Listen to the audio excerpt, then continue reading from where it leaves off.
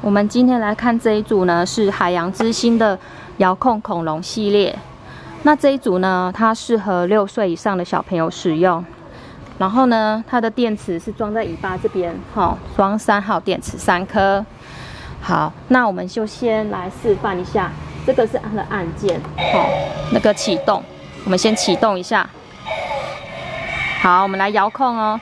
这边呢，就是那个它的吼叫声的遥控。然后这边就是动作，那按一次呢，它就会暂停；那再按一次，它又开始吼叫。而且呢，它的眼睛跟那个嘴巴的地方，还有那个灯光。